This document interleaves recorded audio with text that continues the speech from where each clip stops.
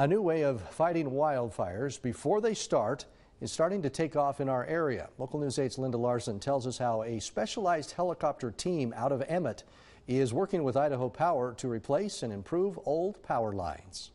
Frequently, we see helicopters fighting wildfires, but this helicopter is taking flight to prevent them. Idaho Power is going above and beyond to make sure they're ready for this fire season. It's absolutely huge. Uh, all our connections in all these identified areas are changed. They're not bolted connections anymore. They're all crimp connections.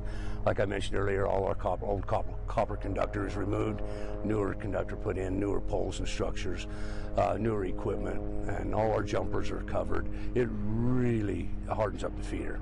Idaho Power and others are really focusing on repairing stuff prior to fire season because of the troubles they've had in California over the last few years.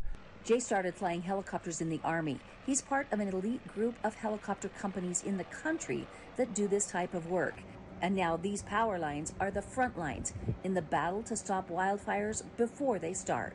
There's a lot of uh, maintenance being done in a hurry in the springtime just to make sure that everything that really needs repaired gets repaired prior to the fire season so there's less chance of a power line starting a wildfire. By using the helicopters, they're able to access remote areas with very little environmental impact. So much more efficient than building roads and restoration, a uh, lot less of a footprint. Here's how it works. After crews hand dig the holes, the helicopters fly into action. They take buckets of gravel up to the holes to stabilize the poles. So he'll haul two of those buckets up, dump them in the area, and as you watched a minute ago, then he'll grab a pole, and the crews are there on site.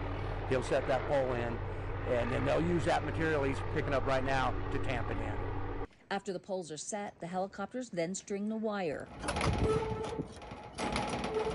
The entire process is much faster and more efficient than just using ground crews, and the end result is a safer power grid. In the foothills of Pocatello, I'm Linda Larson. Quite an interesting process.